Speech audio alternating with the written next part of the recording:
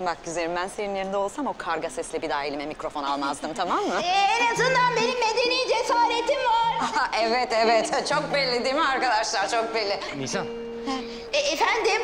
hadi gidiyoruz. Ya ne, niye ne oldu ki? Nisan, hadi. Ha, tamam. Ee, bay bay.